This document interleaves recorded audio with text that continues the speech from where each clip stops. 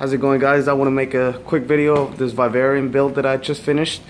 Um, real quick, the the tank is a three foot tall by two foot wide by two foot deep tank acrylic.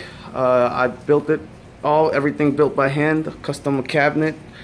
Uh, very easy to pull out. You pull it out, do maintenance uh, with the aluminum stand. Uh, the tank itself, like I said, uh, built it. It originally was a aquarium for a saltwater fish, but I have plenty of saltwater tanks. Uh, I didn't want no more fish. Here's one. Here's my big one, 150 gallon. So I wanted something different. So I went ahead and built this. I did the back out of uh, that great stuff foam uh, pretty much I just foamed it up, let it dry, then go ahead and put some clear and black uh, caulking silicone, and then use the, I believe it's called corn husk, I mean uh, cocoa husk, uh, the coconut fibers, and just smeared it all on top of the uh, caulking until it was dry. I did about three layers to get it nice and nice and even. Uh, the plants right here are these plants right here. You just trim a piece and stick it on and it'll start growing. You can actually see a little sprout right there. Uh, these, uh, pretty much what I did was when I made the foam, I just cut a hole and then stuck the little pot inside there and now they're starting to grow. Uh, this right here is, it's called the frog moss. It's green when it comes out of the box. I don't know if it's supposed to turn back to green. I'm not sure, but hey, whatever. This I got a little little driftwood stump and some more plants over here.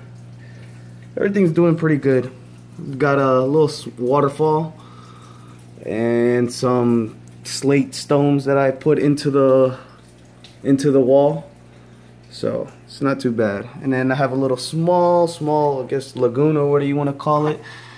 With uh, there's a little fish in there somewhere. Uh, I'm not sure where he's at, but he's in there. Uh, as far as the frog, I have a, right now he's sleeping, but it's a red-eye green tree frog. Just got him yesterday. Very nice. Very, very nice. Uh, this is my first attempt at having a vivarium or any type of amphibian. Um, here I have the thermometer and the one that measures humidity. Um, so uh, that's pretty much it as far as the waterfall. Back here is the piping, the, the plumbing that goes straight down. And uh, since this was a a reef tank, I had a sump, which this sump is an overkill. All I have right now is a, a filter sock that kind of filters anything out. And then the little pump right there the small heater. This side, it's empty. There's nothing there. Uh, not sure what I want to do. Maybe I'll have some crickets there. I'm not sure. But um, in the back, I have a humidifier. It's not on right now, but if I want to turn it on, I just got to pull this out a little bit. Move this plant. Go ahead and turn this on.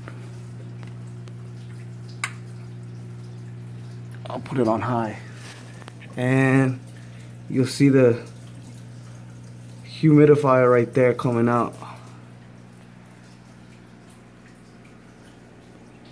there's a little hole right there that I cut out so I'm gonna put this humidifier on a timer so that it'll cut on and off because if I leave it on it just fills up the whole thing is even if I leave it on I mean if I put it very the lowest it still fills it all up.